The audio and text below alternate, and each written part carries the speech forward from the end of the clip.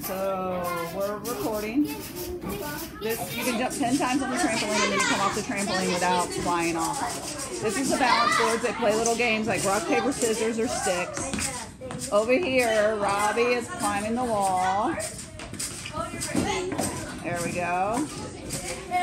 Over here is the wave, or they can do some yoga over here. Over here is our push-up area. You can do push-ups. Perfect.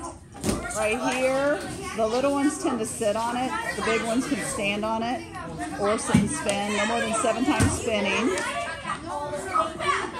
Just be careful with that. Over here, hey, Lexi, show the wheelbarrow. The, for the little kids, okay? The little kids do the wheelbarrow. No, on your stomach. Remember the one you walk out to your toes?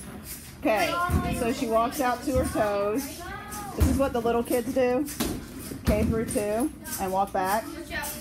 And then I need somebody to do the back bend. Can I? It doesn't matter, I just need to see it.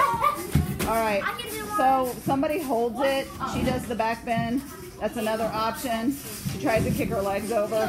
She's having trouble, but that's how she does it. Okay, over here is the mailbox. The little kids, the little kids just hang upside down. Just hang upside down. Don't do anything. The little kids just hang upside down and kind of wave at everybody, and then they stand back up. Go ahead and stand up.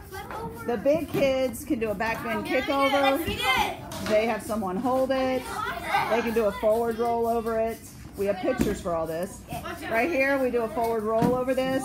Or little kids can hang upside down. Do you guys know?